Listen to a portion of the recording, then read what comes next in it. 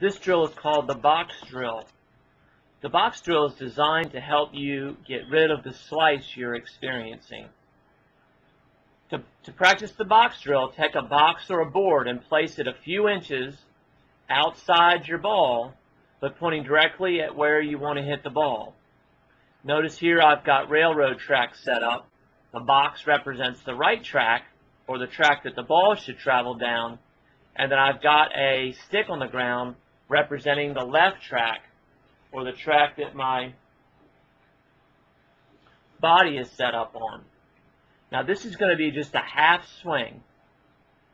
Now the reason I have you doing this is because you have a tendency to slice the ball.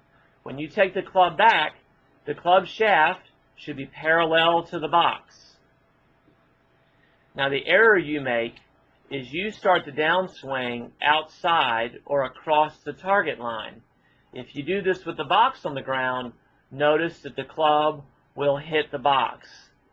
This out to in swing path is what produces the left to right spin on the ball, causing it to slice. There's the swing off to the left.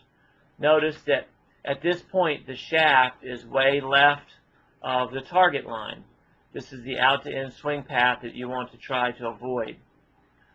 Rather, this is what you want to be looking for.